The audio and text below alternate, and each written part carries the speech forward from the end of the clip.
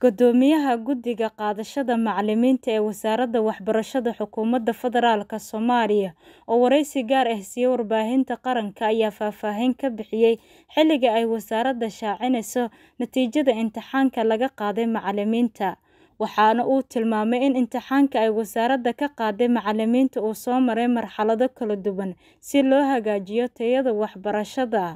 ee wax ka dhiga macallimiinta iskuulada iyo jaamacadaha dalka. ka wasaarad ahaan waxaan jeclaan lahaa usbuuca soo socda hadduu ilaah yiraahdo inaan shaacino maadaama ay wixii hadda soo gabagaboobeen marka la shaaciyo waxaan rabnaa hadduu ilaah raalli ka noqdo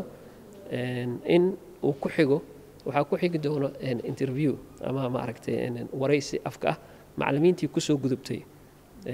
state walba ama maamul goboleed walba macallimiinta ugu sarreysay in laga qaado interview imtixaan afka ah in laga qaado oo weji ka weji ah.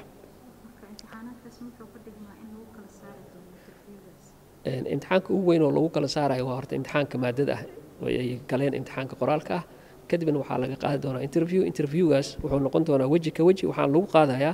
xarumaha maamul goboleedyada lagu qaadi doonaa kadib tababar ayay qaadan doonaan macallimiintan. Tababar oo intensive ah oo oo ah full time oo laga yaabo inuu subaxdii toddobada ama sideedda bilowda ilaa iyo galabtii shanta. Tababar oo intensive ay qaadan doonaan. Kadib ayaa waxaa la geyn doonaa waxaa la geyn doonaa iskuulladoodii maaragtay lagu kala qori doonaa. Labaatan iyo toddobadii febraayo ee sanadkan labada kun labaatan iyo saddexde ra'iisul wasaaraha dalka ayaa dahfuray imtixaanka macallimiinta oo lagu qabtay koob iyo toban magaalo oo ku yaalla gudaha dalka waxaana ka qayb galay siddeed kun oo macallimiin faadimo daahir caddow warbaahinta qaranka magaalada muqdisho